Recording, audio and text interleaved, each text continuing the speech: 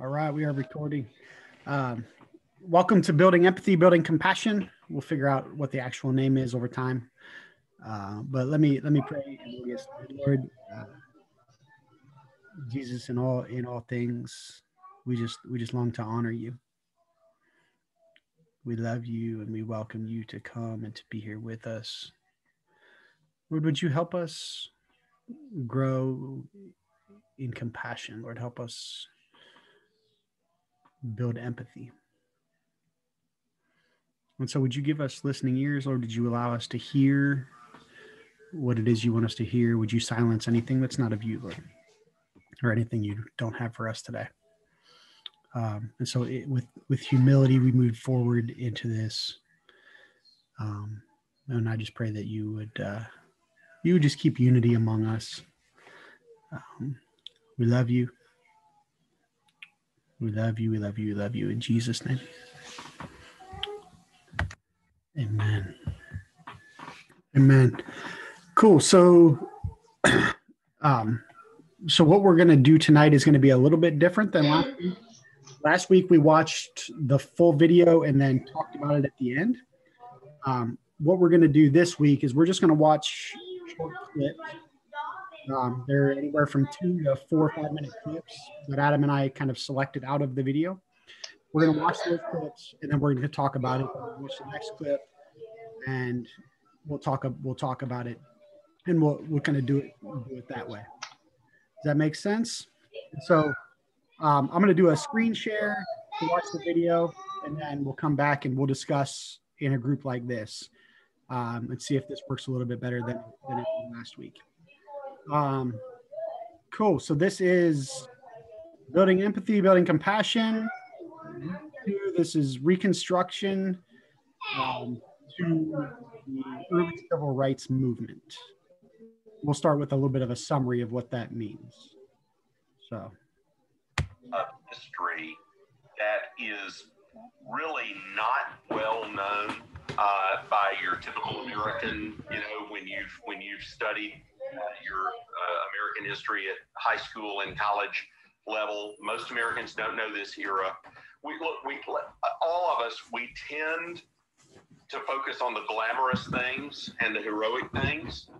You know, so we know the we know the Revolution, and we know the War of 1812, and we know the American Civil War, and we know World War One, and we know World War Two. Um, and maybe we get into a little bit of Vietnam and the unrest of the 60s, but generally, you know, th- th- this is a section of, of American history that people don't camp on when they're when they're teaching. And by the way, it doesn't matter where you study American history. One of the interesting things about the study of Reconstruction in the last 30 or 40 years that has come out is professional historians have noted that the history textbooks in the northern United States generally gave sort of a southern take on Reconstructionism. That is, they were very, very sympathetic towards the southern complaints against the Reconstruction governments themselves to 1877. And, uh, and and and and then not adequately talking about the social ramifications of that uh, in Jim Crow culture. So I, the first thing I want to say is that this is an area of history where we could all, as Americans, uh, benefit from giving a little more attention. And I, if, if, if I were to turn my camera somehow to show you my shelf uh, here in my home office, you'd see an entire row of books that are on this era of history. Why? Because as a guy that graduated undergraduate in history at Furman that studied uh, historical theology at uh, at the master's level and the PhD level. I don't know enough about this, and I and I'm trying to educate myself now. I'm almost 60 years old about things that really I should have known in my 20s, Jim. So, you know, if if if, if anybody thinks I'm wagging my finger at them, uh, you know, I'm, I promise you, I'm wagging my finger at myself before uh, I'm wagging my finger at anybody else. So let me let me come back to Reconstruction and say he, here's the typical way that Reconstructionism is in, is is sort of taught at, at the high school or college level. In Reconstruction, you had military and political occupation of the South by the Union. You had a lot of cronyism and corruption and carpetbaggers and scalawags and unscrupulous things. And finally, you know, 1877, Reconstruction ends. Southerners throw off the oppressive yoke of the of federal interventionism, and things start get, getting back to normal again, and Southerners could rebuild their way of life. And when you when you go into that history now with your eyes open, what you realize is that's a that's a terrible retelling of that history. And what actually happened is a lot of the worst things today, Jim, really their roots are there, even even more than from before the war. Okay, like I think a lot of the racial animus that exists in the southern United States derives from Reconstruction uh, more than from before the war. Now, part of that is because power dynamics have changed. You know, power, power uh, Southern power uh, in the dominant class is not threatened before the war. After the war, it's, it's threatened. You know, uh, power sharing is mandated during Reconstruction, and then there's a there's an a, there's an attempt to re-grab the power by the dominant class, and that's what's that's definitely what is going on in the era right after uh, Reconstruction. In the meantime, they're working really hard to rewrite the history of the war. You know, so you know you have you have you have Southern leadership saying we're going to retell this thing uh, in in a way that is going to be more compelling uh, and and more favorable uh, to us. And so, it, it, again, it doesn't surprise me that Southerners are unaware because there have been people that have been working hard for them to be unaware uh, of these things. And I, you know, my, both my father and my father-in-law were publishers, and um, I, I've got books that they published. That- All right. Cool. So, so real quick. So, Adam. So so Adam has told me, for those of you who were not here last week, Adam has told me I'm not allowed to call him a novice historian. Um, so I'm calling him our, our local history buff. Um, and he doesn't even like that, but I'm calling him that. Um, so Willie, can you just for for us, like not even history buffs, in can you just summarize what Reconstruction was? and then we'll go. That, that was the um, post Civil War laws passed by, well, be just the northern states because the southern states obviously didn't have representation in Congress or anything else after the immediately after the war. They passed laws to ensure the civil rights for freed slaves and blacks in general in the U.S., but particularly the South. And Reconstruction actually involved sending federal troops into the South to ensure that the laws were being followed and basically military government in the South so they could reestablish functioning democratic governments that can actually obey the laws of the U.S. Gotcha. Is it what what kind of do you do you know what kind of time period? I, I think I heard him say seventy seven or. Yeah, I mean that it ends in 1877 out of the compromise result of the 1876 election. Okay. You just, I know we have that scheduled for a, a, couple here from now, a couple from now, but let's just, let's just go ahead and jump into that. So, so Reconstruction started right after the end of the Civil War. Troops were troops were sent to the South to ensure civil rights, to ensure fair treatment of of blacks, right? Because there were because many blacks were still living in among the people that had just like owned them as property, right? Yes. And so and so tell me how how did Reconstruction end? Why did Reconstruction end? I mean, obviously it wasn't very popular with the um, the people who'd been in power before the Civil War in the South. And even people who were in power after the Civil War in the South, they weren't obviously happy with having federal troops down there and telling them what to do. Um, so we get to the 1876 presidential election, and the Republican candidate is Rutherford B. Hayes, which gives us, you know, the very local connection to that. From where? Delaware, Ohio. Delaware, Ohio. Yeah. So um, it comes down to a contested election. Basically, when it's done, they're fighting over, I believe it was Florida, Louisiana, and South Carolina, which were the three southern states that still had Republican control in the Reconstruction era they're fighting over what results are going to be accepted, what not in the electoral college. Um, so basically, he ends up with a one vote lead. It's challenged by the Democrats, and they start to do. Hayes's camp speaks with some moderate Democrats kind of behind the scenes when try to. I mean, both parties are talking about we'll take the presidency by force. Sounds vaguely familiar. Um, but they work out a deal with basically the Democrats agree not to contest Hayes becoming president. In turn, he agrees to end Reconstruction and pull all federal troops out of the South. So, I mean, once the Democrats hold true on their deal to not contest Hayes, he becomes president, and he swiftly ends and pulls the last troops out. And I believe the last occupied states were South Carolina and Louisiana. So, it, after that happens, there is literally no no one in the South from the North kind of ensuring the freedom, the civil rights, the fair treatment of recently freed slaves? Effectively, no. Okay. Okay. And so that kind of 77, 76, 77 marked the end of Reconstruction and then moving forward. That, yep. Okay. Cool. So that's a good summary. Just to kind of this is this is where we're kicking off with the beginning of this. Um, and so let's jump back into the video and then we'll have more conversation um, along the way here. And and then we get done with these videos. If anyone's got questions, comments, jump in with them. Yep. That that published this thrown up against them by the dominant black population. By the way, one thing we haven't said yet, I just want to mention it before we just pass on is this. History idea.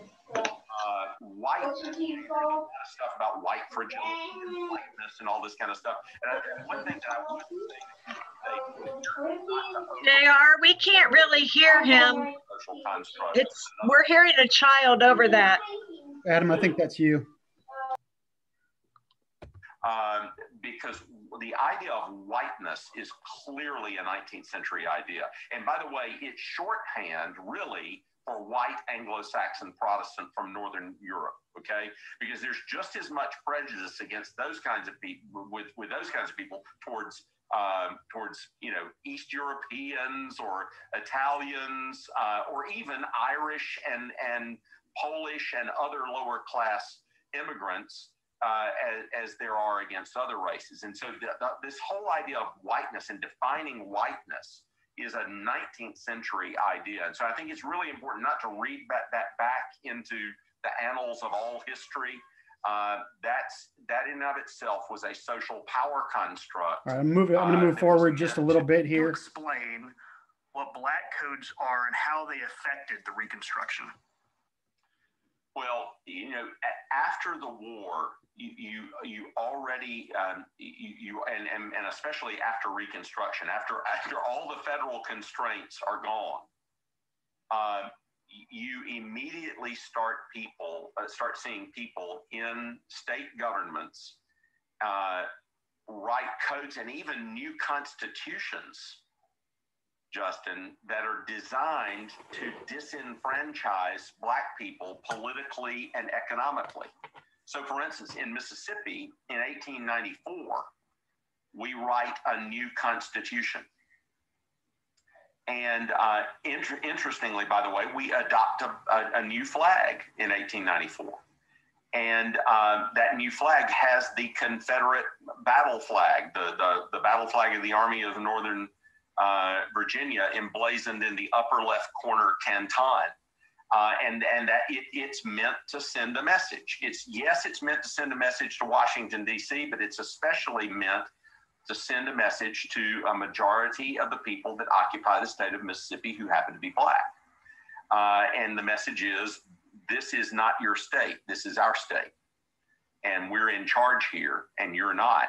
And the Constitution of 1894 puts into place a range of um, electoral uh, uh, advantages to white people in Mississippi because again, white people they're threatened because they're the they're the numerical minority and they don't want they don't want blacks to coalesce and have political power. There are restrictions on black involvement in political parties. Um, there are um, things start coming into place like um, poll taxes and literacy tests and all manner of things in these sorts of black codes that are meant to limit and diminish black political power and equal access to the law. And I mean, it happened, by the way, Mississippi's Constitution of 1894 becomes a template for how everybody else in the South is going to try and do this. And um, that's really the beginning of Jim Crow. You know, that it's, it's that, it, that, that's, that's what we now call Jim Crow. And it's, it's all designed to, um, to restrict black political power and, and economic power and to continue to infra- enfranchise that power in the, the dominant group in society. And, and am I correct to understand that it was primarily uh, infringing on political power, but also included all the way down to just real life, signing contracts, marrying, settling, where to settle? Is it is it was it just political or does it comprehend? Oh, absolutely, that's right. You know, it, it, it hits economic. It, it you know it. Uh, it, it hits at society, you know, you know, who, who can sign as a witness on a contract, um, who can, you know, what property rights, you know, all, all manner of things are touched upon in that area. And well, let me say, here's the other thing. I, am not sure. I'm not sure when this dawned on me. There, there's a little clip that you can get. I mean, just Google it of, of Martin Luther King talking about why African Americans are in a different position than other immigrants to the United States um, and even the Native Americans. Uh, and he, you know, he explains that look, you know, the other immigrants were being offered 40 acres and a mule. Uh, you know, even as awful as the Trail of Tears is, there, there's still there's, there's a U.S. Bureau of Indian Affairs, and there are at least some negotiations that are going along there, uh, providing not reparations, but at least certain provisions for the Native Americans. But for for for Black Americans, they were released from slavery with nothing. You know, I I, I was reared on these um, these stories and I, I don't want to make I don't want to make complete fun of them, but I, for instance, here's here's a family story that was told um, that my you know great grandfather McDowell in Liberty Hill, South Carolina, after the war, would plow in his frock tail coat, you know, because he no, longer has slaves, and he had lived he had, he had lived a patrician life, and the only clothes that he had were you know what we would call today white tie and tails, and and he would be out plowing in his frock tail coat. And then it would be told, and all his slaves loved him so much that they stayed with him uh, after the war. Well, you know, that that kind of story can be told by white Southerners to buttress various myths. Ah, see, uh, black slaves must not have been treated that badly. Why in the world would they stay around after the war? Here's the question where would they go? and what would they do and how would they feel that they, they've got nothing okay they're free but they've got zilch nada they have no property they have no money. They have no social enfranchisement. Where exactly are they going to go?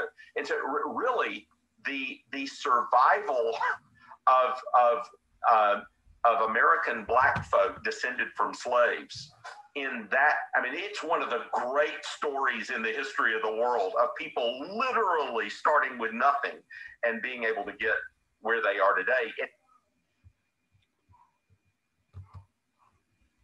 cool um, so so just to kind of remind everybody here so the the goal the goal of this time isn't just a history lesson right but you know we talked about the first week of one of the first steps to building compassion, um, building empathy, is is beginning to see through someone else's eyes. And as you as be, you begin to see their see and understand their perspective, it can help compassion grow inside of us. And so, Adam, I'm going to ask this question to you first, and then I'm asking going to ask it. Um, what's what's one thing that you hear there, brother, that that helps grow, grow inside of it. I mean, I think particularly in that, like, there's a, a whole bunch of stuff that a whole people group had to deal with that others haven't had to experience. And that obviously cleats, I mean, you know, they talk about, you know, America has a, a founding myth, so to speak, like this, this story of how the country's founded, everyone thinks of that, whether it's true or not, not all the aspects doesn't matter, but that's the experience that everyone looks at and thinks about how the country was formed.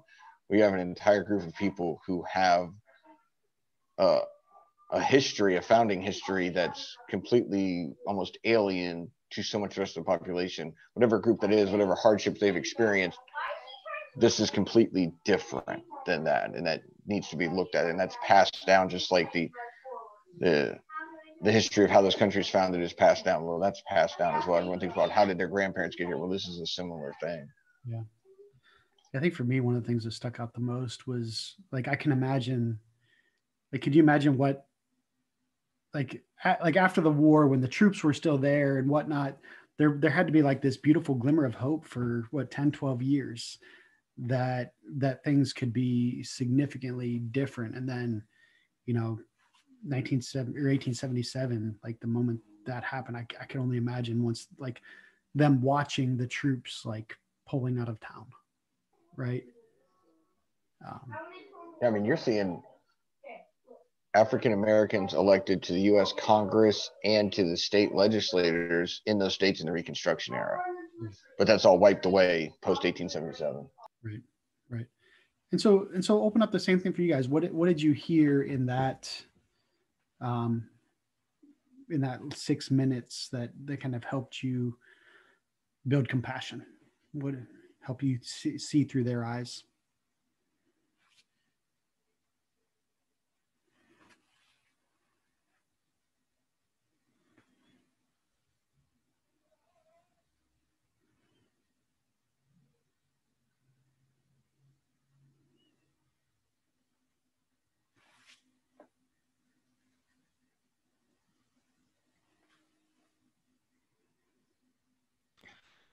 I think for me, it's when they were talking about that they started out with nothing.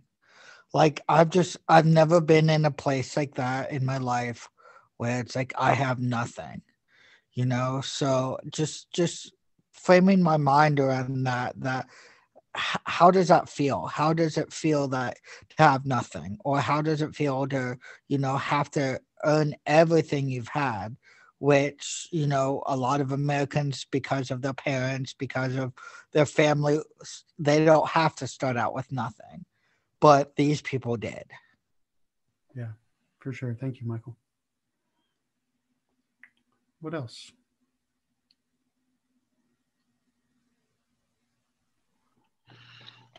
When i list i actually listened to this earlier today and one of the things that struck me was just how lied to I feel because, well, I'll just be honest, I love history now in a way that I didn't when I was growing up, and, and homeschooling changed a lot of things for me. Um, and I began to be, you know, far more interested in, you know, anything to do with with history. But still, I have memory of reading the assignments. I have memory of being taught, you know, in school, and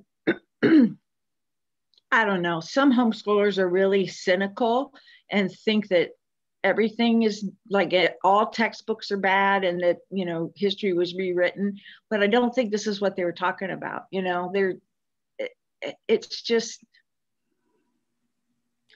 when, when i was listening to him talk about um, you stopped at this time when he said that both his father and his father-in-law were publishers but he goes on to just say that they published textbooks that were revisionist history or when i think about it it just sorry for the clock.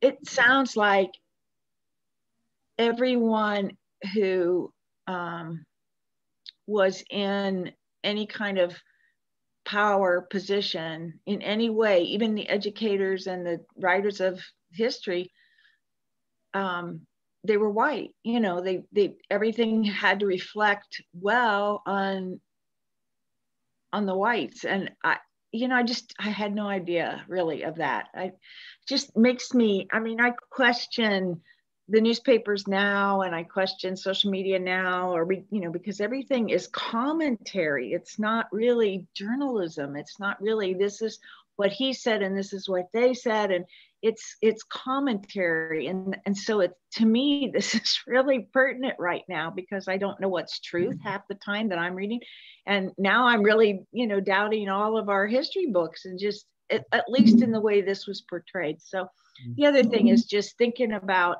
at some point, I don't know if it was in the last one or it was in this one, but at some point, um, you know, he uh, he mentions that they're Calvinists and they believe that everybody is depraved. And so he's like, why should we be surprised? you know, and he's mm-hmm. right. You know, all the inclinations of man's heart are evil, but this idea of lording over an entire group of people uh, it's just it's it's just i don't know it's just really hard to it's hard to um, it's hard to hear it's really hard to hear i think the word that came to my mind like i heard you say lied to i think i think the word that that comes to my mind is i think like what i think what i what i learned was just incomplete like i don't i don't i don't maybe i was lied to but I think but I think there's there's a significant portion of history that that was just incomplete mm-hmm. in my in my in my schooling, if that makes sense. But yeah. Anybody else before we jump into the next video?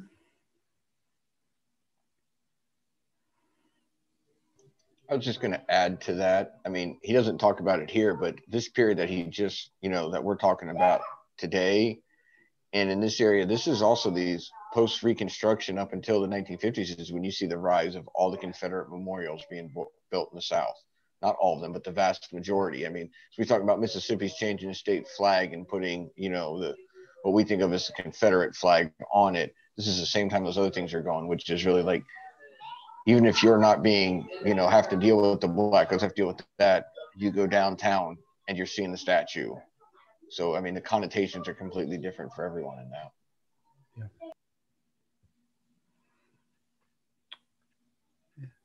It's good. Do they, uh, Adam, do you remember, they, I have, I have a few questions about uh, black codes and stuff like that. Do they talk about that when we talk about convict leasing?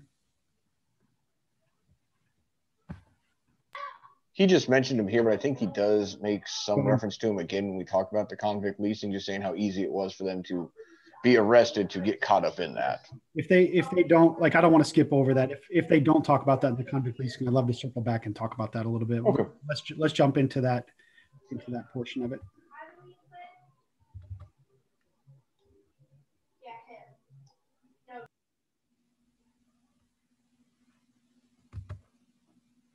Of sharecropping.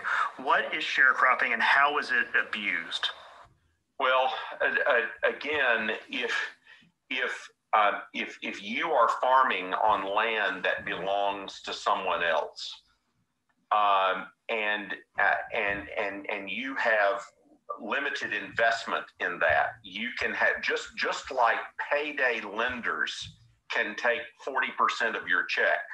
The the guy that you're farming the land from can take an inordinate amount of your yield uh, all in the name of, hey, you don't own the land. I own the land. I'm, you know, I'm, I'm a, I'm a businessman, and you know, and I'm, I'm generously working with you on my land, and the cut of what you create, you know, disproportionately goes to someone else. It, by the way, interestingly, Justin, an an EPC minister in uh, in Louisiana has been, and I won't embarrass him by saying his name, but he's been one of the real generous supporters of the African American Leadership Scholarship at um, at RTS. And he, he came to me, it was more than a decade ago, and he said, I realized that my family, uh, they had massive plantations in Louisiana before the war. They had massive sharecropping farms after the war. And I realized that my family had disproportionately benefited from the labor of these African Americans, most of whom were Christians, Bible believing Christians like me.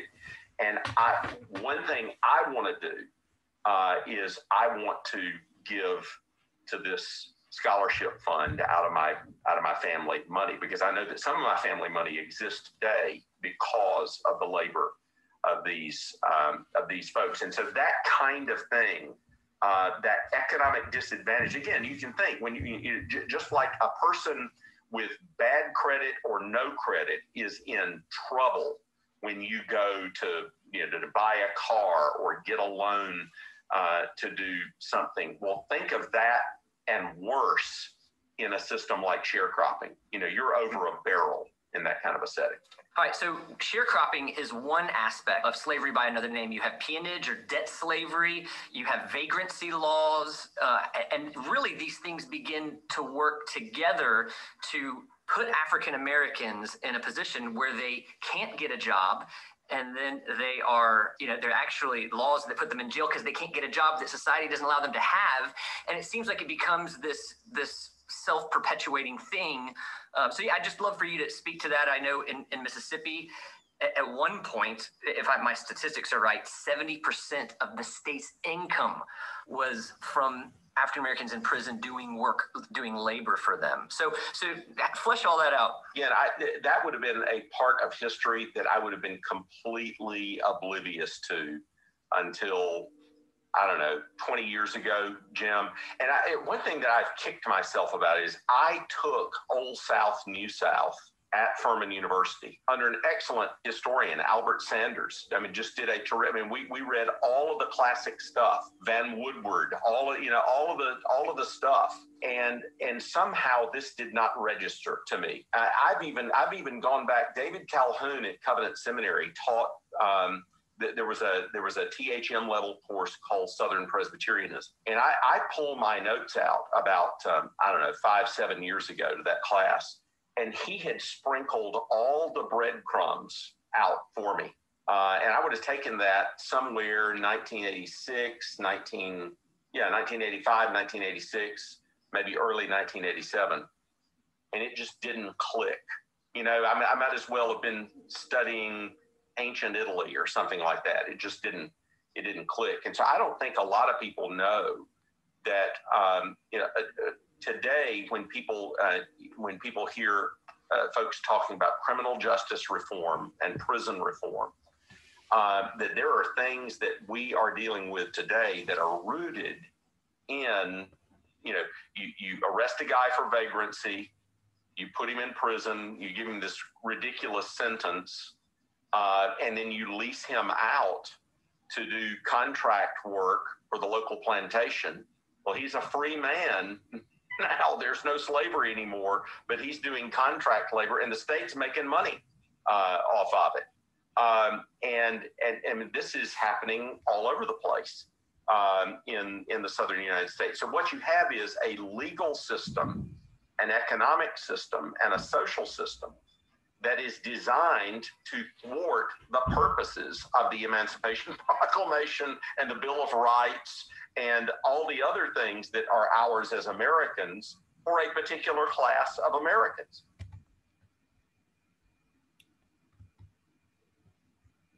All right. So I remember when I, I, honestly, I really didn't learn this until just maybe a few years ago, probably when I when I watched uh, Thirteenth for the first time. Um, and it was I remember it being so interested that like they the it was it was often these convicts were were leased out to plantation owners that used to have like hundreds of slaves. So it's almost like they placed them right back into the same position they were.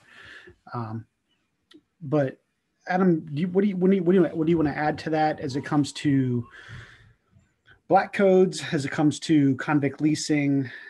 Um, what other information do you think would be helpful for us? And then I'll open it up to anybody else.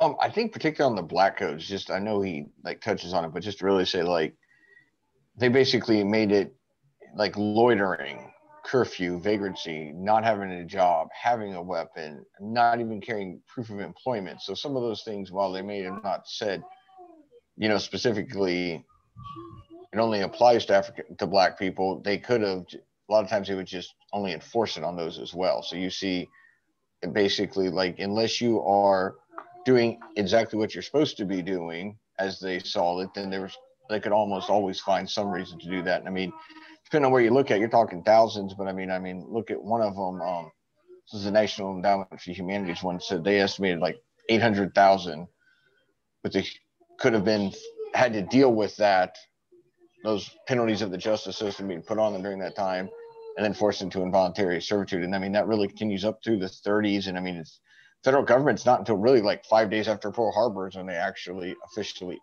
make it illegal to do. I mean, it falls out in the 30s, but you're seeing it all the way up through there. Yeah, it's really interesting. Like, why why would it be five days after Pearl Harbor? Is it?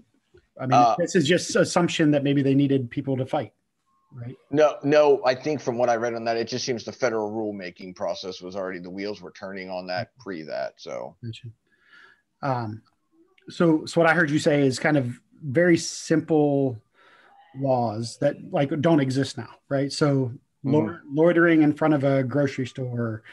Um, what what does vagrancy mean? Do you know? Like, I, I without looking at the particular laws, I don't know, but basically, you can't be the.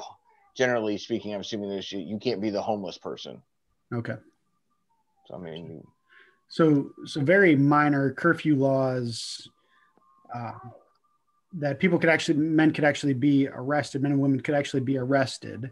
And then instead of sitting in a jail they were actually leased by the state to plantation owners. Plantation owners would pay some kind of a fee to the state. And then these men and women would be forced into involuntary servitude for astronomical prison sentences based off of the crime mm-hmm. committed. Is that that accurate yeah, I'm not sure the links some of those, but obviously, when you're talking people being sentenced to prison for simple things that you know really, even if you're going to make them illegal, I mean, loitering would be kind of like trespassing today. That's going to probably you know get you a fine at best, generally speaking. Right. So I mean, we're talking people being sent to prison and then leased out to someone who has no economic interest in whether or not they're treated nicely, right. let mm-hmm. alone humanely. Right. Mm-hmm. do, you, do you have something? Um, this is JC. I know you can't see me, but I just had a I had a thought about just coming from like an empathy perspective of like imagine imagine the the you know the trauma that you went through like being a part of of a family in slavery and then being quote unquote set free yeah. and then having someone be able to like reintroduce you to slavery through unjust means of arrests that aren't actually legitimate. And then you get thrown back into this trauma environment where you're a convict and, and back into slavery and just the threat of entering constantly the threat of having to enter back into a traumatic environment of slavery. And then just also the awareness that i just kind of had like an epiphany as i was sitting here like wow the mistrust for African Americans around the justice system, around police relationships, have stemmed back generationally for so long and for rightful reasons because of these things that did go on between them and and police at the time who you know did have maybe intentions to arrest for not legitimate reasons to for this very reason. So it's just I didn't really. I think there's generational trauma that is, um, you could even be subconscious at some of this. I've just learned like I can't imagine like even the stories and families that have been passed down around that subject. Yeah, absolutely. Um, you know, you you kind of heard Ligon mention it kind of about kind of veiled, just about like some of the impacts of things that are happening today like started back then, right? Um, yeah, it's it's it's hard to even know where to start now. Um, yeah, and I don't think they, don't, he doesn't really touch on it in here, but I mean, you'll see all this stuff going on. I mean, I I, I did two things, I guess, kind of put them in a better order. One is you've got people who like like you said, JC, they had like this hope for a brief period of time, and these people so many people who had never had the, the freedom really to speak out to do this. I mean, they finally have hope. They see people who look like them. They see them having theoretically civil rights and people who look like them being elected to the U.S. Congress. only to within you know just 20 basically 20 years see that door slam shut and now they're all back to that same way they were before and perhaps worse off because anyone who rose up during that time is now facing even more repercussions for daring to go against what the system and the power was. And i mean and and then what he I don't think he really touched on here is because all this is going on so much in the South, you see begin to see the the great migration begin.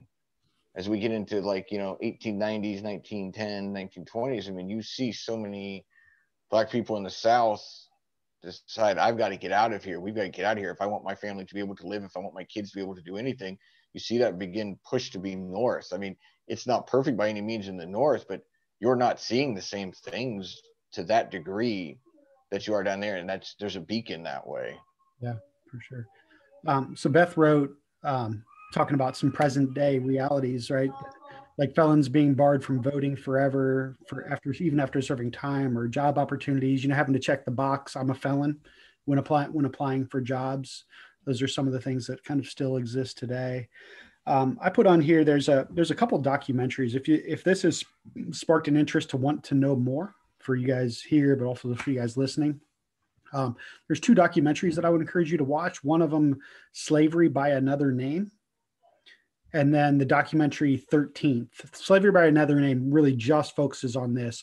13th is a little broader, but but but mentions but has has some time spent on on this specifically. Um, and again, I just want to say like I'm not saying everything that are in these documentaries is factually true and I agree with but they're very informative, um, especially to help look through the eyes of other people that we might not um, fully understand. Um, so anything else on that topic before before we jump into our next next focus here? No? Cool.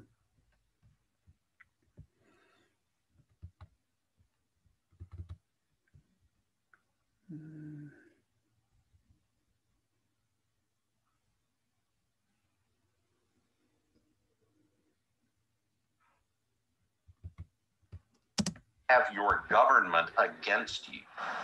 Well, when you bring up the idea of terror and the use of terror, um, it leads right into this question a horrific legacy of this period were lynchings and sexual mutilations that were executed outside of the, the justice system uh, and were still allowed to happen in the West and in the South, and which then the purpose is to terrorize and to create fear to get in people's heads. But why would you say it's important for future generations to know about this topic? And I'm thinking through the thousands of lynchings, um, the Tulsa massacre, the the Red Summer, Rosewood massacre. I mean, the all of the all of these lynchings. Why is that important to point to, tell the truth about, and to tell current and future generations? Well, I mean, for one thing, I, I, I do remember studying some of these things in history in high school and college and elsewhere, but they were all there were usually code words that were used, like race riots would be used, and that's often a code word for a race massacre. And so there, there, are all sorts of ways that these things have been papered over in the history that we have studied in, in our schools that keep it from coming home. Now, I've often thought, you know, if you had if you had lynched four and a half thousand white people, you know, between the 1870s and, and the 1960s, I mean, we'd have, we'd have destroyed the world over that. I mean, we'd have been dropping bombs everywhere. We would have, you know, we have just gone ballistic on on that. And and yet that's that's a story of a of a large population of our fellow Americans. And look, as as as a Southerner, you know, I've, I've, I, uh, Southerners we live in history. You know, I, and and look, as a, a Southerner of Scottish descent, you know, I, I, was taught that Midsummer's Day 1314 is the year that Robert the Bruce defeated the. So, so I, I wish they would actually spend more time um, talking talking about this, but but I want to spend a little bit of time talk about this idea of of lynching and then a few you know um, discuss that a little bit. So, so Adam, there's they we hear this kind of this idea of lynching. Um, what is lynching? Um, as much as you're as much as you're able to to share. I, I don't know if it's an. I, I guess the simplest way to put it, simply an extra an extrajudicial killing, meaning like it's not authorized by the government of someone for either a, a, a violation or a perceived violation. I mean, it could be as simple as there's cases where someone was convicted of a crime and then they're pulling them out and they're killing them outside, you know, for it, or all the way up to they're never even charged, then they're just killed for it. Yeah, for sure. I mean, I think that I looked up something and said, you know, it was, it's estimated between 1870 and 1950, there was over like 4,400 plus. I mean, it's kind of really hard to get a documentation on all of that, but I mean, of what they've been able to document. Um, and so, and, and it's it's my understanding that a, a lot of t- so some sometimes these were fatal, um, other times they were kind of just torturous, um, often including like genital mutil- mutilation. And so, you know, I've I've heard stories of, you know, I think Emmett was it Emmett Tills? Is that it? Was that his name? Yeah. Who was accused of like hitting on a white woman or or no, it was he was accused of rape or anyway, I don't want to speak I don't know the facts obviously. Just flirting. He was he was basically accused in 1955 of just simply flirting with a white woman. Okay.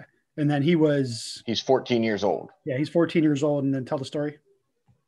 Well, I mean, I, I go ahead. I just was that. I mean, yeah, but was he was he killed? Was he just mutilated? Was he?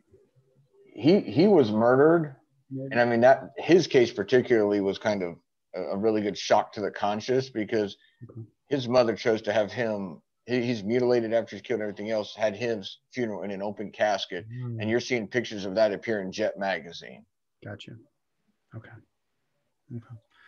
Um, but so so one of the um, one of the things we want to do after this is all over is just to begin to hear some some like real life experiences. So there's there's actually a lady in this town that I that I know and dearly love that that this actually happened to her one of her family members in the south. And that's why they live in Marion, Ohio now because after this happened to one of their family members they fled north. And she and this was like during her lifetime.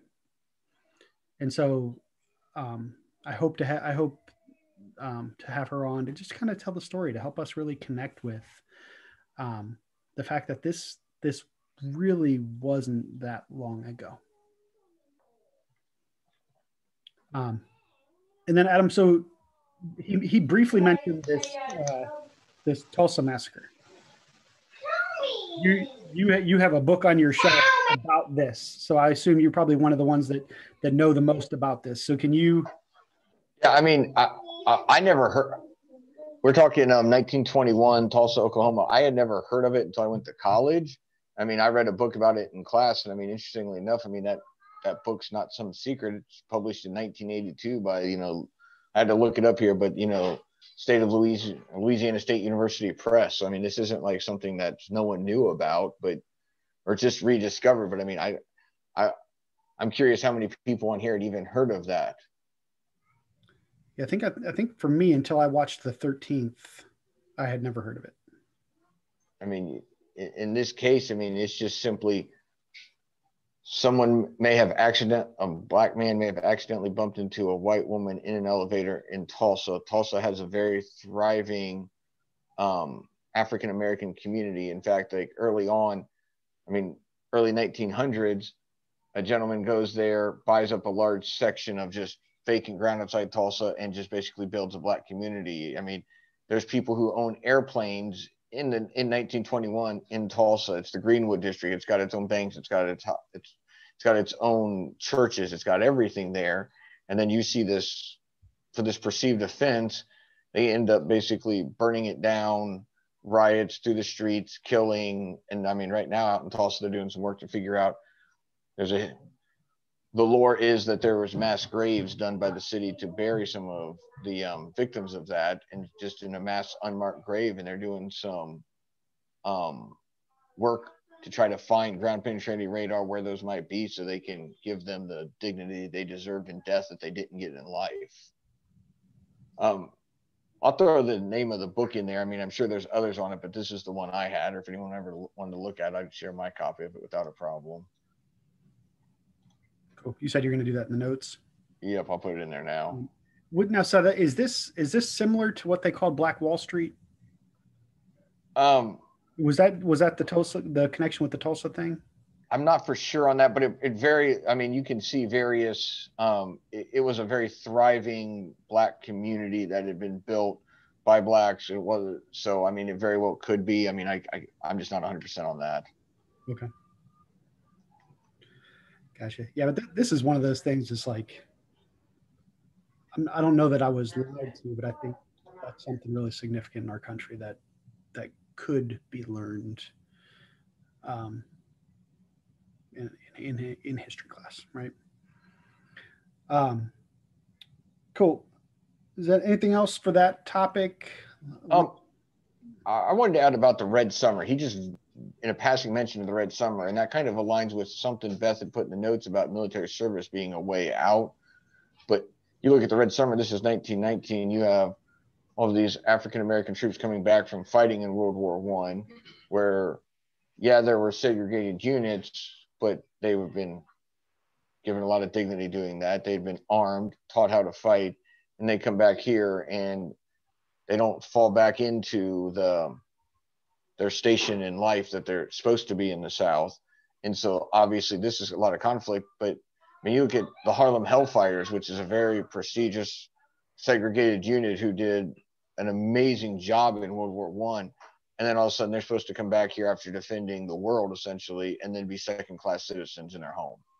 And obviously that didn't sit well that didn't sit well with them, understandably. And then there's a whole bunch of people who didn't like people getting uppity and then perceives to riots. Again, you're seeing this back and forth murders happen because people were willing to stand up for themselves.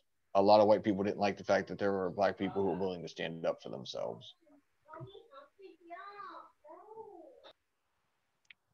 Cool. Thanks for that. Anybody else have anything they want to add before we move on to our next?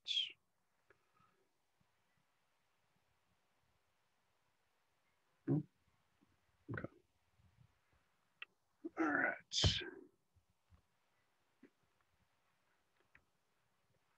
And again, I just want to kind of continually say this. This this is this is somewhat of a, a history lesson, but the desire here is is to help us see through the eyes of our brothers and sisters of color and their and their and their and their family stories, right? Um, and so and so watch this um, and and build compassion, and build empathy, and begin to begin to understand some of the some of the family generational pain um, as as you're watching. And I think to JC's point earlier, I mean, if you look at this, the the Red Summer, the the Tulsa incident, you're seeing where there had been hope. So here they are able to build a thriving community in Tulsa. Here they are able to go fight for this country, only to have that dignity ripped away from them again. So I think that is a reoccurring theme of here's hope, but it's just snatched back. Yeah. Absolutely. All right.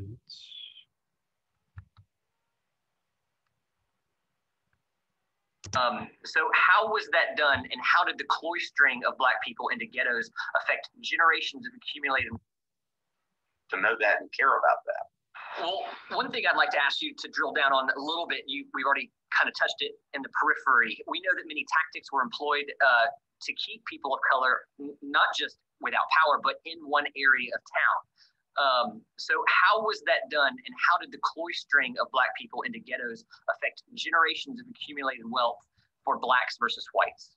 Well, I mean, you know, there are different names that have been given to that. One name that comes into play in the 20th century is redlining, and there would be literally places in town where black people would not be sold to, uh, and so there were only certain parts of the town that they could go to, and uh, and and and and that clustering also led to the creation of what become the, the ghettos, and and and, and by the way, that's a thing not just in the southern United States. That's the thing in the northern United States. The one of the books that I was trying to reach down and grab um, is called Sweet Land of Liberty, and it's called it's basically the forgotten history of the story of the northern civil rights struggle. And so these these realities are not just southern realities. There's again, just like we were saying in the last show, um, that, that they're continually realities in, in, in every part of the United States, north, south, east, and and west. And so, you know, they're not only do black people lack the capital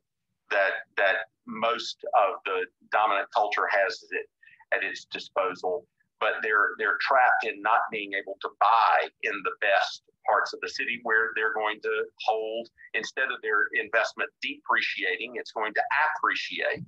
And um, and and and so you know those sorts of things have a generational effect um, and and, and I, property you know especially you know there, there, there are few things that are more important in terms of building wealth uh, in, in as in terms of property and being able to hand it on and when you don't have access to decent areas um, and and you're you're kept in the worst parts, it puts you at a, at a disadvantage that can't be overcome in any other way. So it's funny you say that. When we bought our very first house in Starkville, Mississippi, walking distance from downtown, um, we had this deed that was given to us that said uh, in the kind of the neighborhood covenants, and I could only have one cow. I could I, I had a tractor I had to park it over here, and the house could never be sold to a black person.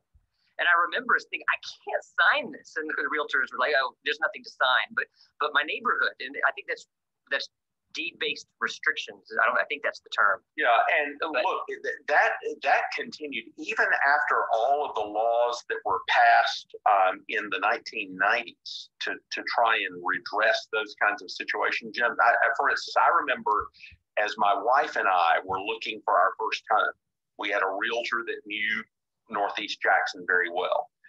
And we would look at a particular area, and she was not allowed to say, um, that's a mixed race neighborhood because of the new regulations that have been passed trying to deal with these. But realtors had code words. So she said, No, you don't want to look there. That neighborhood has lost its luster.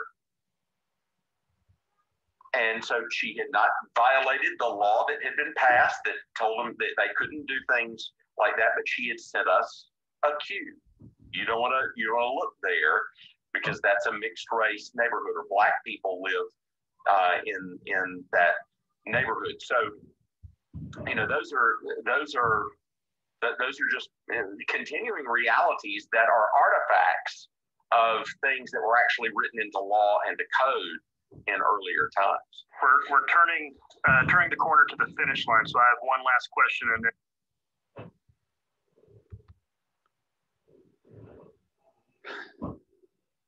Man, there's so so so much there that we just don't have time to even discuss. But let's let's talk about this idea of redlining, Adam. Um, what is redlining? You you discuss. You tell people what redlining is. I'm going to start. I'm I'll go, I'm going to go find that map that we found that you found. Okay. Yeah, it's about during the New Deal era, 1934, 1933, depending 35, depending on what source you want to look at for that. Um, federal government's trying to. There's a shortage of housing stock. The federal government's trying to get more houses built and back loans in it. As part of this, there's a federal agency that's basically tasked with creating maps to say what's good, where's good areas in towns to back the loans for those. So like today, you know, most people's house home loans are backed by the federal government. Um, same thing then, because you know, unless you had a lot of money, banks and weren't willing to back those loans.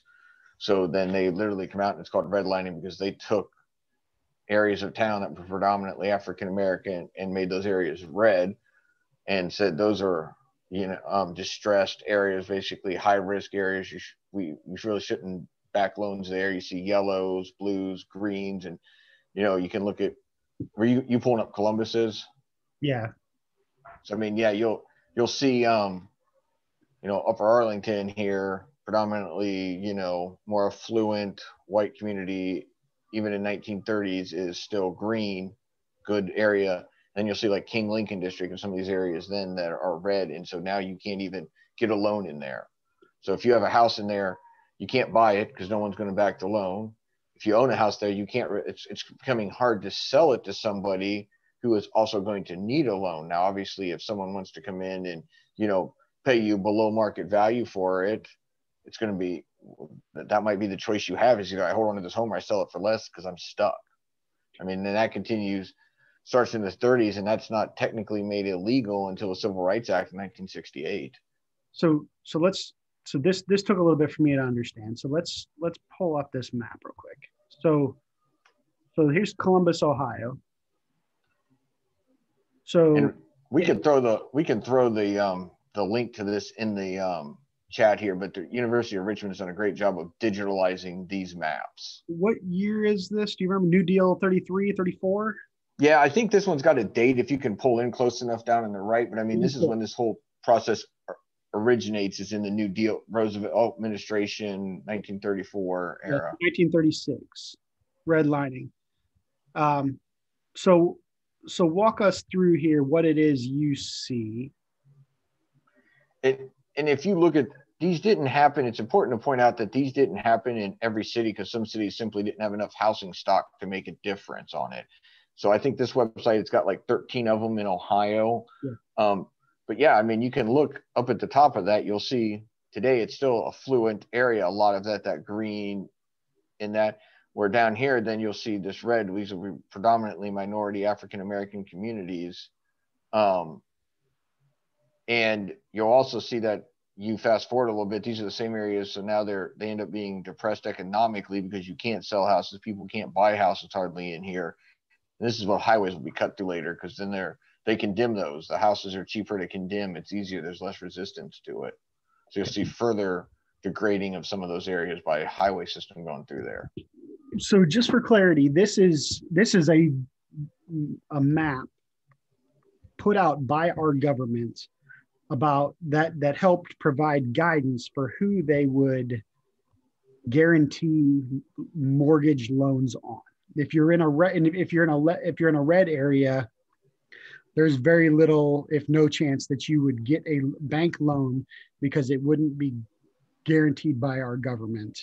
If you're in a green area, you're almost guaranteed to get a loan if you qualify because it's it would be guaranteed by the government and this was predominantly a, a racial dynamic. Um, so what are what are what are thoughts questions? Adam do you have anything else you want to add to that that you thought would be think would be helpful for this conversation? No and i think it's and again i don't know enough about this and i it, it's hard to completely make sense in my mind of what was their was the end goal segregation with this?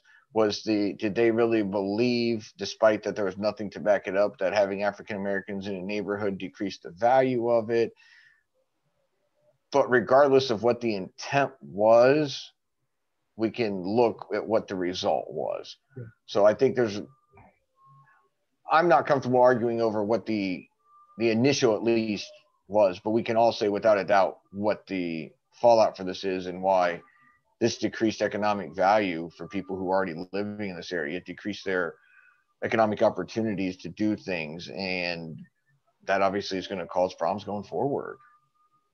Yeah, we'll expand on that. What do you mean problems going forward? I mean, if you can't, I mean, if, I think if any of us, if you if you buy a house for you know twenty five thousand dollars and next thing you know you can't sell it for anywhere near that you can only sell it for 15,000 and not because you haven't taken care of it but because no one can get a loan for it well now you're either stuck and staying in this house or taking less for it so if the opportunity you need to move because of a job opportunity or you've outgrown the house with your family you're probably going to take a loss on this house or be stuck with it and and then you just see that there's no if you want to build new houses there, you're not going to be able to do that. So it's just you don't build the wealth to carry, you lose what wealth you have. It makes it hard for everyone. to, and then that just starts a slow downward slope because does it really make even just an economic does it make sense to pour a lot of money to keep your house? If it's not worth what you paid for it and you can't get that out of it. What are other what are other thoughts other questions? For for me this like just hearing this stirred me to really want to learn and research more. And so i'm currently reading the book called color of law that actually gets into some real specific documented you know they they reference real documents from the government real situations that can be tracked. And and so i'm reading it's called color of law right now just because I, i'm just really curious about this. What other questions or thoughts do you guys have? Say the name of it again. Color of law. Color of law. And, and again like i don't believe everything i read but a lot of times those books help point you to real good hard research. Hey, JR.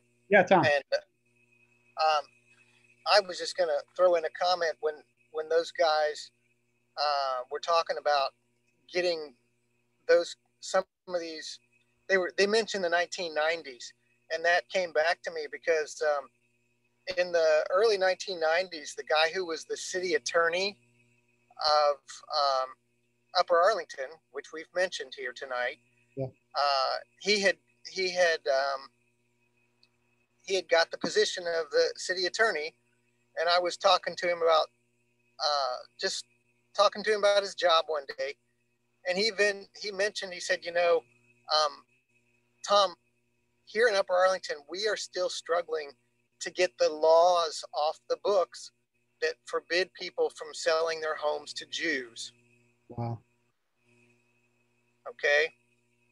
So, um, anyway, that he um, he was a brother from uh, from Vineyard Columbus, mm. but um, you know it's um, yeah people do um,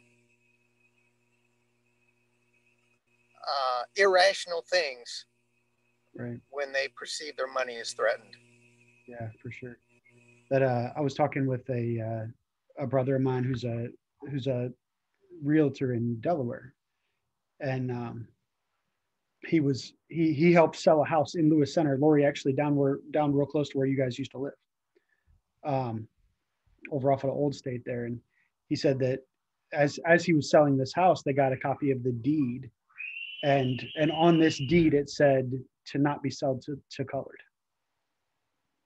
In Lewis Lewis Center, Ohio, in the north, and the and that was in uh, in 2019, I believe, 2019 or 2018, that it was still on that deed. I know we had talked about throwing it in next week, but since we kind of went there, I mean, I know Chapel Heights Cemetery, north of town here in Marion. Um, my uncle died as an infant in the 50s, and my grandmother um, bought plots there for him. And when we were looking at the deeds they still had for those additional plots they bought, this was, I mean, the deeds would have been issued in the 50s, but we were looking at them, you know, in the past decade, they specifically said white only. Now, obviously, when they, um, interestingly enough, when those deeds that were still empty plots were transferred over to my uncle. They get new deeds with his name. That's out of it now. I mean, as it should be, but it's just it's interesting. No comments are made about that. Here's the old one. Here's your new one. We don't even talk about that. So I mean, you're seeing that even where people can be buried. Yeah, and I think this is again one of the like incomplete things for me when I when I you know before before four or five years ago when I thought of segregation, like I thought about the South right? I just didn't realize or understood the the, the countrywide impacts. Um, even if it wasn't laws passed, maybe there there were some, but you know that that it was still a very clear black and white segregation in many places of our country. Um, so, what else? Anything else? that you guys are wondering about, that you're thinking about?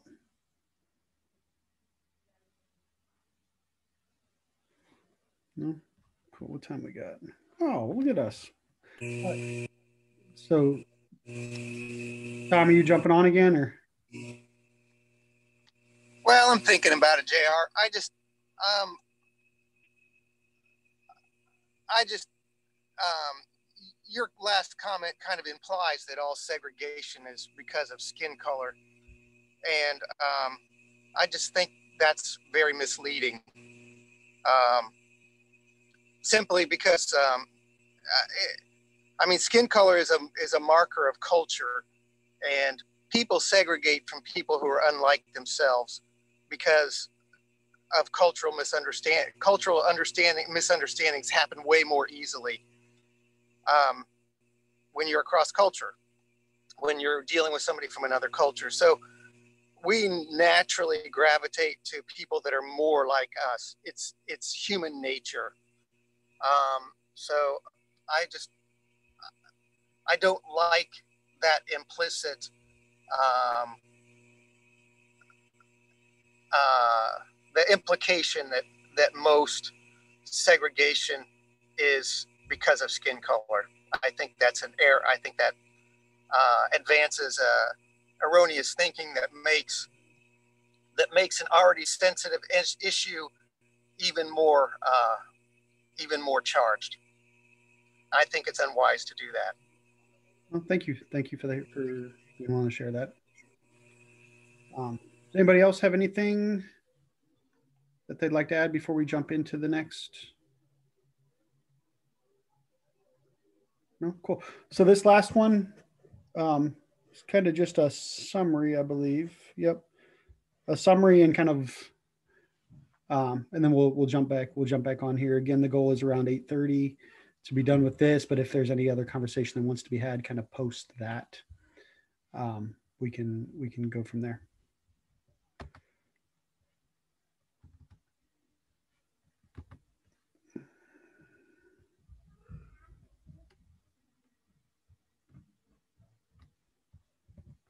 Times. We're, we're turning uh, turning the corner to the finish line. So I have one last question, and then and then Jim will uh, uh, finish things off with. I think he has another question or two. It, but I want I'm asking you for advice. Um, imagine a conversation where someone says something like this, and I would like your response.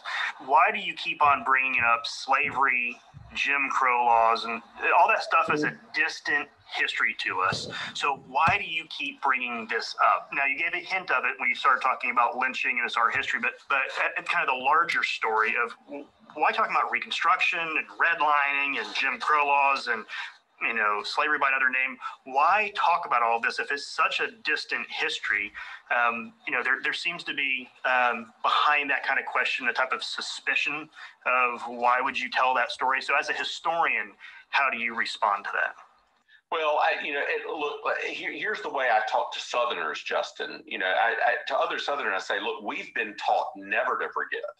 We, we've been taught always to remember why do we suddenly want to develop amnesia in this other area? We, you know, we want to never forget that our ancestor was in Pickett's charge at Gettysburg, but we do want to forget that 35 years ago, this guy couldn't couldn't get a job because he was black.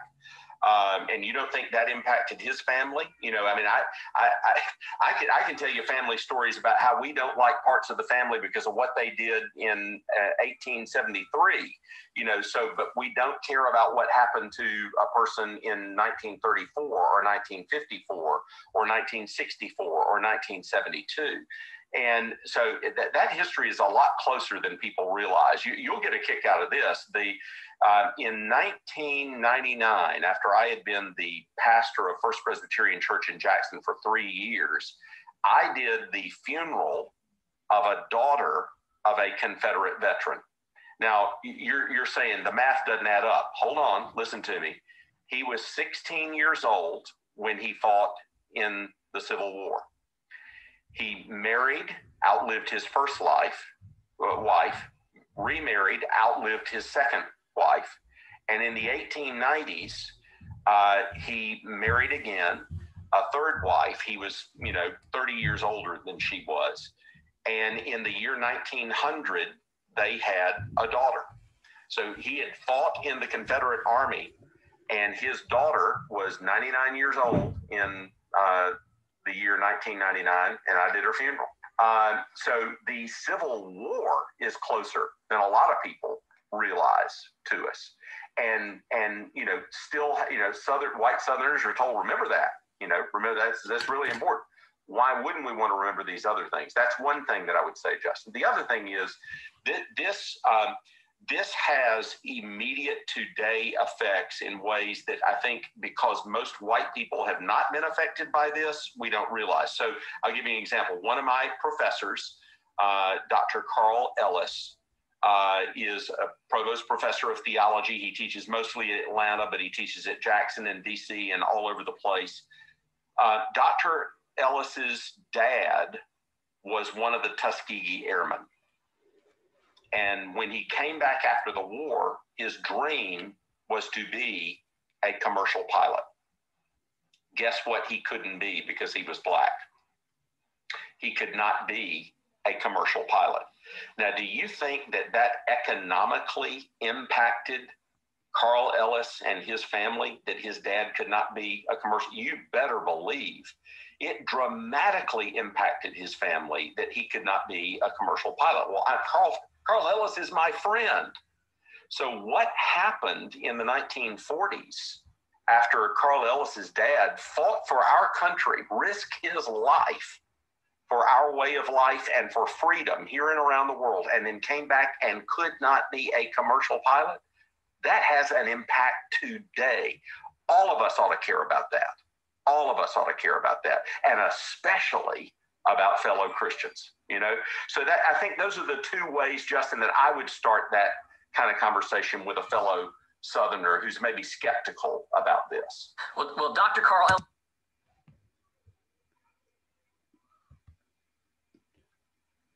So that's so that's where the la- the last we'll watch of that of that video. Um, what did you guys? What are what are your thoughts about that about Ligon's response to isn't it all in the past? Um, what is, what is your response to, to what he to what he said?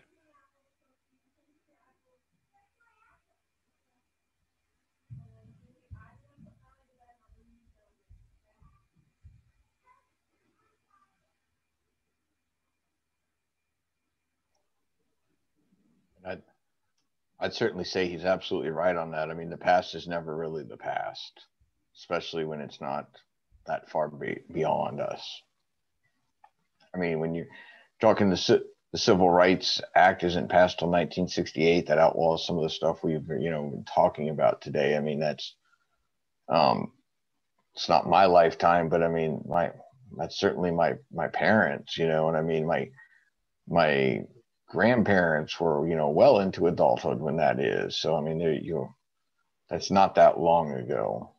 And i think as you said i mean you don't think about some of this stuff happening as much in the north so to speak but there's a whole bunch of people who experienced it wherever they were at.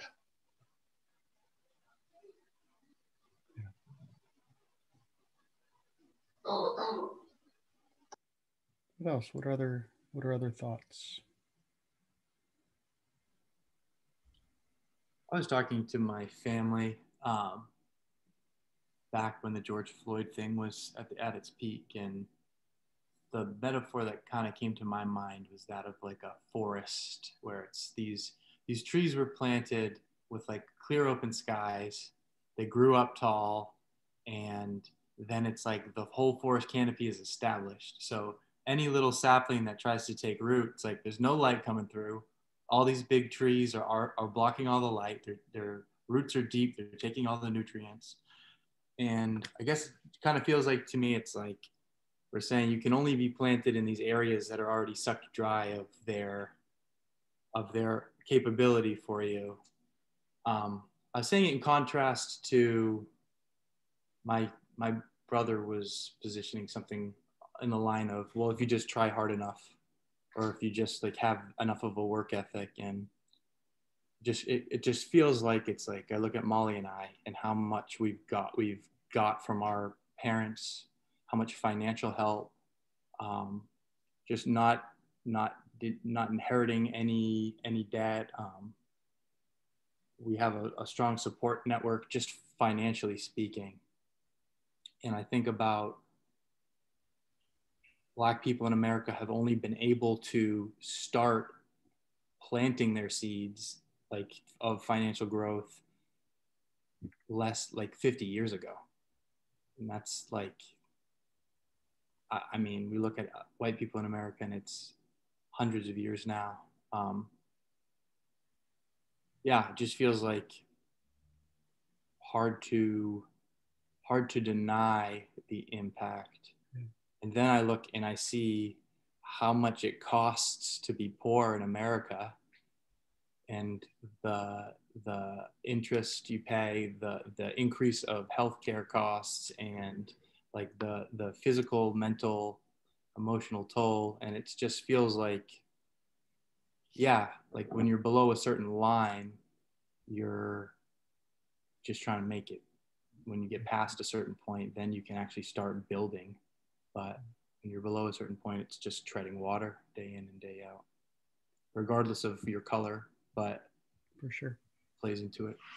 So, so I'm gonna, so I'm gonna say this word, okay, because it's probably on the tip of most of our tongues or in our minds, right?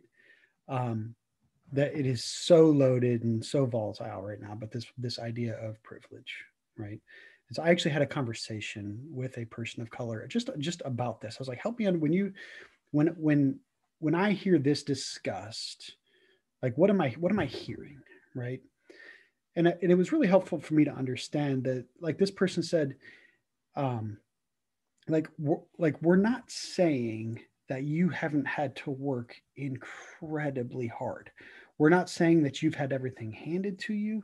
We're not saying you haven't worked your butt off, right? But it's the idea that that maybe there are other people, other cultures that have had to work a little bit harder to get where you are, right? Or like I think about myself, like like when we when Lauren and I bought our first house, um, we we couldn't get a loan on the house because it wasn't in great shape, and we we had a family member that was willing to loan us twenty thousand dollars.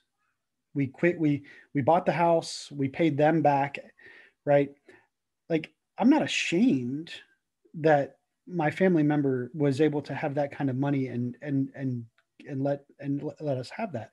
But I also do understand that there are many many people, black or white or or Hispanic or whatnot, that don't that didn't have that luxury that Lauren and I have because of that house we were able to buy this house and because of that house we were able to buy the car that we have because right and so um but but when when you hear the word privilege right people aren't saying hey you've got everything handed to you on a silver platter right? They're they're not they're not saying you haven't had to work your butt off to get where you are right? And so i just wanted to from a conversation that i had i just wanted to clarify that because it can be such a loaded, loaded and explosive word. Um, so I don't know if that was the time to share that or not, but it, it felt felt relevant.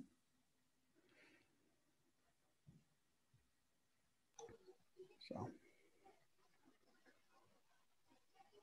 I, I think you both hit on something important there. I mean, it is really hard to sometimes in America today sort out the um, racial impacts and the economic impacts, the class impacts, and where those lines cross each other and how they intermingle with each other for how things are experienced today. And it isn't always easy to draw a straight line back to because someone was denied a home loan in 1937 is why someone is or isn't in poverty today. That's really hard to draw those straight lines through history, but all you can do is really look at the trends. I mean, I, I just pulled it up looking at this, the census figures. I mean, real median income for non-Hispanic whites is seventy thousand dollars. This is blacks. This is in the country. Yeah, for this is 2018 from Census Bureau. I mean, you're looking. Asians have the highest at you know 87,000. Whites are at you know 70,000, and blacks are at 41,000, and Hispanics at 51,000. So Now you could try to figure out a million different things of why those fall the way they do and look at a different way, but I mean, no one can argue with the facts of where you see in those groups of that income level. Yeah. yeah. Do you remember what the Do you remember what the levels were for actually like family family wealth? And I I talked about that earlier this year one Sunday morning. I have to go back and look at it, but yeah, it's definitely something like five times or something. I mean, it was yeah higher for for for white people as it was to people of color. And and I and I'll be honest with you, we can't even say people of color, right? Because Asians are are considered people of color, but for, specifically for for the black community, it's significantly less. Yeah, yeah. Looking at black versus white, I mean, you there's a whole you can get into a whole explanation for why Asian turned out better than white when you look at some of these. But yeah, I mean, in fact, I actually the the very the variance everything I read was so high, I questioned whether you know, kind of Mark would probably appreciate it more. Got in a mean median mode to try to figure out where these apples to apples comparisons. And yes, I mean, so it's not you can't say because you know Jeff Bezos is white and he's worth billions of dollars, and you know so is Mark Zuckerberg. Does that disproportionately skew? No, we're talking like what's the average, not all cold median. So you draw them all. What's the median? That's it. So I mean, it really does hold true. Right. Yeah, for sure again, guys, empathy, compassion, right? That's that that is the goal for all of this is as as we as we build relationships with um, neighbors, coworkers, people in our city, um, some that are our brothers sisters in Christ, and some that are not that that deeply need Jesus. Right? Is what what we're trying to do is we're trying to learn to see through other people's eyes right um, and so that so that's that's that's the goal here right? It's not it's not to make us feel bad about ourselves not to make it's not to make us feel shame. It's to learn and to grow and to understand right? That we would have compassion. And that compassion would lead us to action in one way or another right? And that's and that's for us as as compassion grows in us that's to go before the lord. Lord what do you want me to do? Right but we don't want our action motivated by anything other than compassion we don't want our action motivated by guilt by shame by what other people tell us to do or what what political politics tells us to do like that's not where we're what we're going to be moved by we're going to be moved compassion and action in Jesus, and he because he's the answer to all this, right? Um, and so that's our that's our goal here, right? And so we have we have one more week of this left. Um, next week we're going to look at civil rights to the present day, and we're going to do a very similar thing. If you're able to watch it ahead of time, um, that would be great, and it'll help you kind of bring questions or thoughts to the table.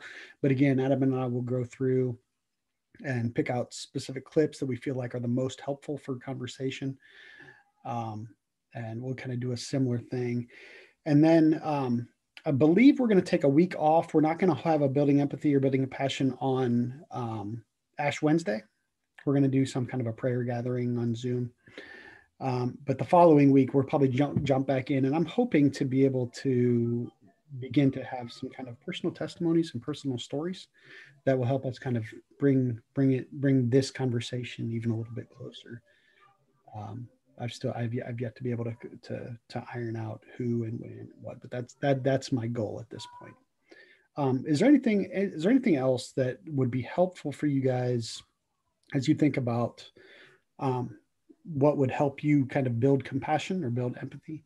Um, do you have any other thoughts about any, anything else that would be helpful?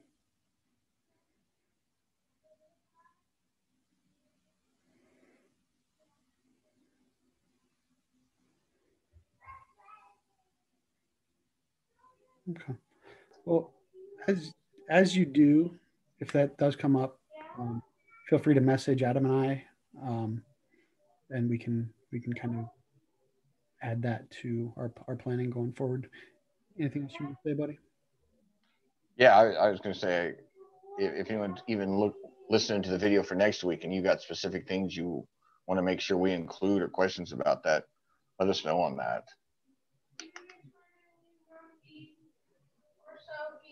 Cool. Um, I do have something I just thought of that. Um, when uh, was talking about when, one of the questions that the interviewers asked, you know, was why why do you care? What's your personal story? And he just kept talking about things that are things that we've been talking about in our church. You know, he said because I have friends who have had completely different experiences than I've had based on the color of their skin. And he, and at the end of, I think it was at the end of this one, he says that, you know, we're not trusted for good reasons. He said, people like me, I mean, he just kept pointing to himself and using him himself. People like me have been doing awful things to, you know, black families for four centuries. And he said, you know, he reminded us about, you know, loving our neighbors because they are in the image of God, no matter, you know, what nationality or what ethnicity or whatever. And he was just talking about can you imagine the gospel impact if if white churches or white believers would say you know not on our watch You're, you know we're not going to treat people like this or um, just this concept that they're talking he was talking about changing the state flag of Mississippi, and and um, which I think is happening currently. And he said, "This state belongs to you as much as it belongs to me." You know, if whites were able to say that, what you know what that might do for building bridges for the gospel. So, anyway, that just made me think about the art of neighboring, and you know, just what we've been talking about as a church all along. Yeah. Fleshing that out in this arena. For sure. For sure. For sure. Okay. Well, I'm going to stop the video real quick. Um, and then